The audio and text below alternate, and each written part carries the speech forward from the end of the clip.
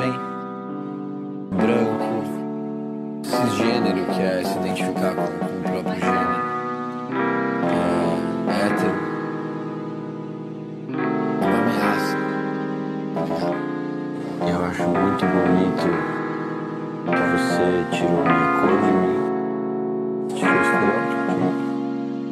Mas,